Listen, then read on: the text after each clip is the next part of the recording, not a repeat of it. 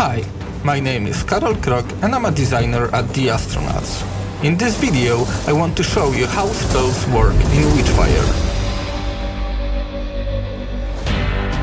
The first thing to know is that we have two types of spells in the game.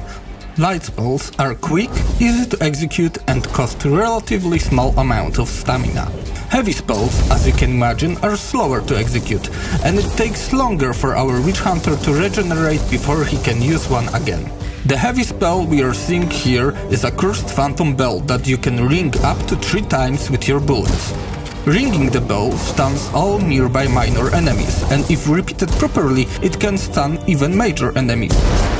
The second thing to know about spells in Witchfire is that most of them are based on four core elements water, earth, fire, and air. Each element has its own unique property. For example, enemies set on fire receive more damage. On top of that, elements interact with each other in intuitive ways. Here, I attack an enemy with Shock Light Spell. The damage and the element spread to other nearby enemies.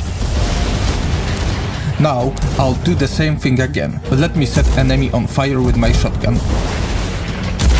And now, there! As you can see, the bolts affecting nearby enemies were more powerful, and that is because the source enemy was burning, receiving more damage from my bullets.